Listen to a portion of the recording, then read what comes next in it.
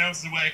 And then exactly like you said, it was like the oh, and then a stream of expletives uh, came out of my This, mouth. this is this is how I viewed the episode. I compared it to because I watched it. I was, I was spent. I compared it to when you uh, someone when this is gonna be risky, so I'll do it very gently on television. Uh, re- receiving oral, if you will. yeah. And You mean like an oral and- presentation? Yes, Yeah, of course. Sure. And you finish, Mhm. but the person giving doesn't stop. Then they just